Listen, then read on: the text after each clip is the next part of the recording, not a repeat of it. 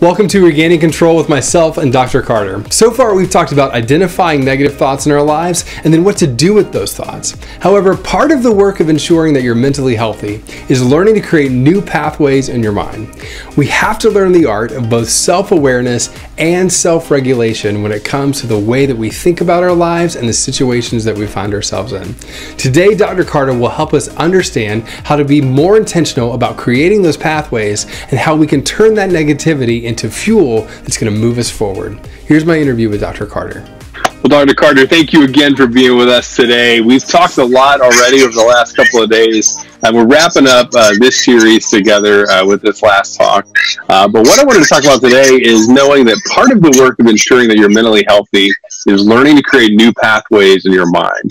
And so, how would you practically apply being better at self awareness and self regulation when it comes to our mind and our thoughts? And how can we be more intentional about building better pathways?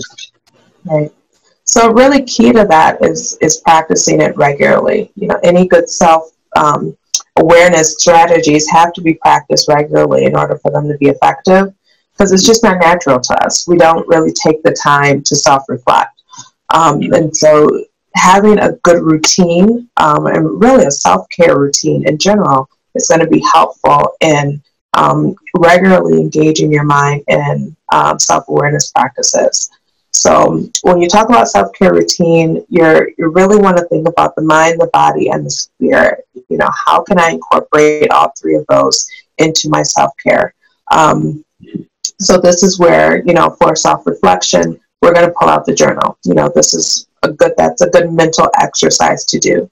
Um, if you're creative, you could also draw. That's a great way of processing your thoughts and feelings in a more creative way um, writing a poem or writing lyrics to a song. You know, those are also great ways to get your emotions out um, and, and really kind of process what you're feeling.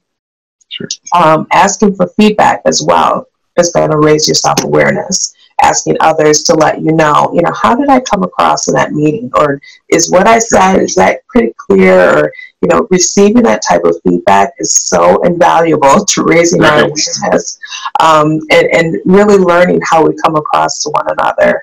Because um, we really don't know. You know, we intend one thing, but it comes across as something totally different. So, hmm. you know, don't be afraid to ask for feedback from people, you know, that you trust. Um, self regulation is a little bit different from self awareness. So, if self awareness says, you know, what's going on with me, self regulation says, what do I do about it? And so part of your self care routine should be some good coping skills just to help you regulate your emotions on a regular basis. Um, so, whereas journaling might be a good technique for raising self awareness, reading might be a good re- technique just for regulation of emotions. It's a nice way to calm the mind down and just engage in something that's that's um, not too stressful. Um, listening to music is a great way as well, um, instead of writing it, coloring. Um, anything that kind of calms the mind and gets you in a relaxed state is, is going to be really helpful for um, um, emotional regulation. Mm-hmm. Also, eating healthy and exercising regularly, those are great emotional regulation strategies because they produce happy hormones like dopamine and serotonin um, in our brains that can help offset negativity. Um, they also help with digestive health, and there's actually more and more research that's coming out recently that says that our digestive health is very much connected to our mental health. So, um, taking good care of your body, you know, definitely has a, a long-term effect on on your your overall mental health as well. Um, and then just engaging with others, you know, making sure you're connecting with t- with people that you know, having fun with people, laughing, learning new activities or games. Um, those are all great ways of, of really keeping the mind healthy and keeping your emotions regulated. So good. That's really great. And I feel like I'm listening to that going, I probably should have less Chick fil A then. That's, that's good to know. That's good to know. A lot of that. Um, okay, so let, let me ask you this. I mean, so we've talked the last three days, we've talked a lot about, you know, in some ways becoming more aware of your emotions, thinking about your thoughts.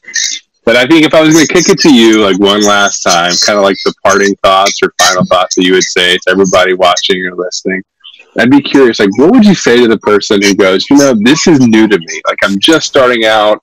You know, I've kind of just let emotions come and go. I've let thoughts come and go. How would you encourage them?